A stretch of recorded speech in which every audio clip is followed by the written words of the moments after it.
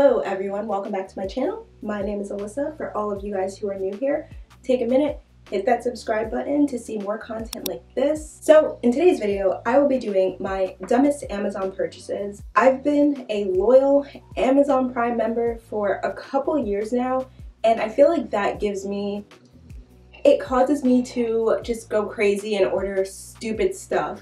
Stuff that I don't even use. But I do still have a couple of my dumb purchases to show you, except for two of them. So we're gonna jump right into this video and I'm gonna show you my six dumbest Amazon purchases. So for the first one, it is a weighted hula hoop.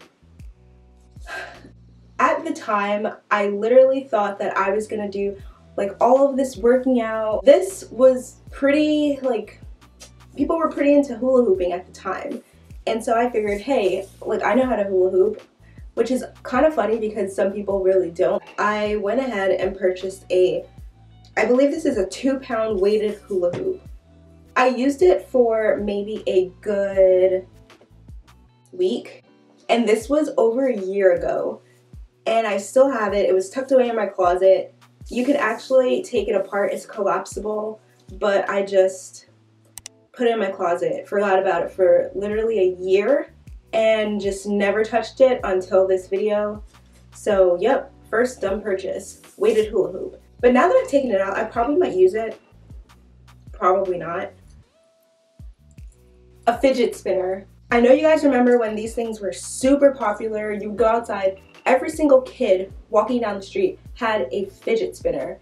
For some strange reason, I figured, oh, that looks fun. And I went on Amazon and bought a fidget spinner. All I did was keep this thing in my bag for absolutely no reason. And now it's just sitting around in my room. I bought a blue one and I bought a gold one, one for me, one for my sister, and I'm not doing anything with this. And these were like 10 bucks each. So, I mean, it wasn't like breaking the bank for a fidget spinner, but why did I need this? I do not need this. Number three would be a keyring. Now, I think I'm pretty sure these are called carabiners. This one is more of a heavy duty one and you might think that this is probably very useful, which it is, but I don't use it anymore. It's just wear and tear from it being like on my keys for a while. It's also a cigarette lighter. I don't smoke, so why did I pay an extra 10 bucks for a cigarette lighter?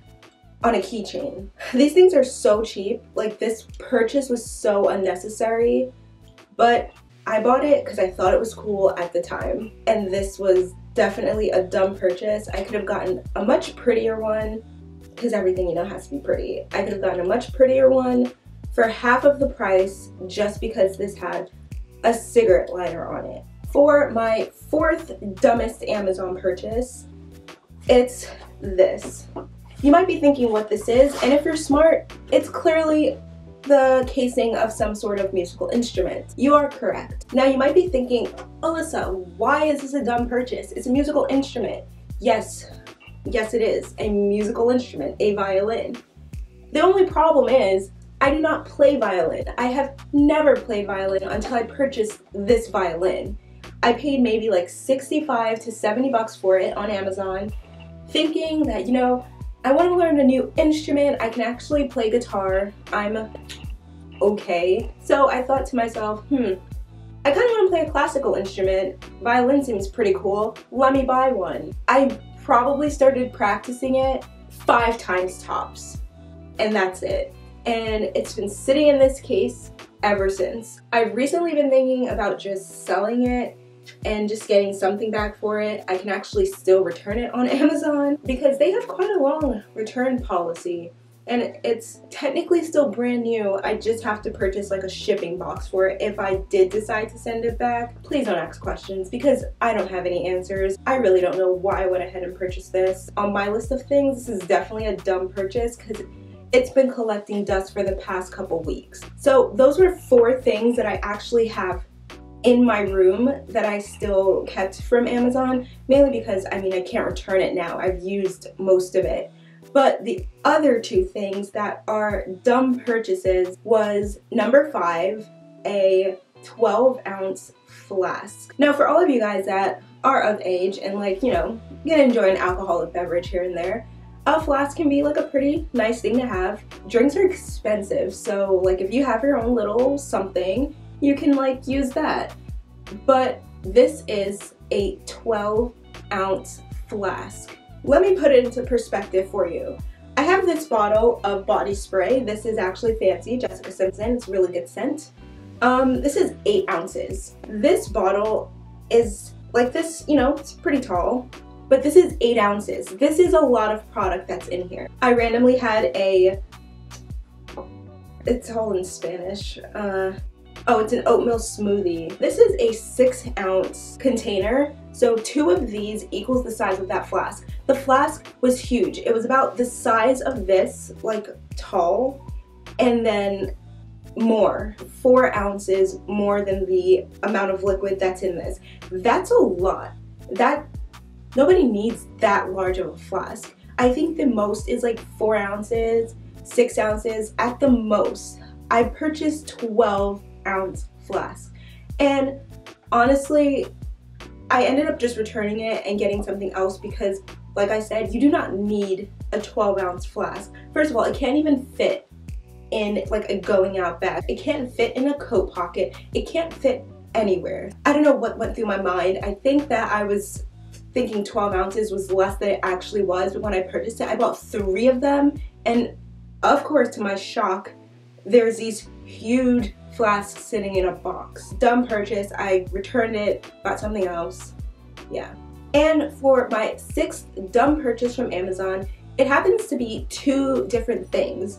It is a gaming mouse and a gaming keyboard. I don't game. The only thing that I have is a 2DS. This is the XL. I actually have a skin on it, but I do enjoy playing this. I have quite a few games for it, but I'm not a computer gamer. I don't understand what possessed me to purchase this stuff. I had in my mind, like when I was redoing my room, I was gonna have all this set up, but here's the other stupid thing. I don't even have a desktop. I have a laptop. So what am I gonna do? Plug all this stuff into a laptop? It makes no sense. I feel like that should be my number one dumb purchase because there was nothing behind it, really. I ended up selling those and I got money back for it. I did not return it to Amazon. I sold it on, I think, Mercari. So I got something back for it. So someone who's actually a gamer is probably enjoying those right now. So yeah guys, those were my six dumbest purchases from Amazon. I get into these moods where I'm like, yeah, I'm gonna do this, I'm gonna do that, but I need this to do that. So I end up just purchasing these random things on Amazon and I have these unrealistic goals like play a musical instrument when I have absolutely no time to learn a musical instrument so I just go ahead and buy one anyway. I don't know, I'm trying to really work on that, especially a goal for 2019 and on. So I hope you guys enjoyed this video. Thank you so much for watching. Before you click out of it though, make sure that you hit that subscribe button and also like this video, give it a big thumbs up if you want to see more content like this, and I'll see you guys next time. Bye.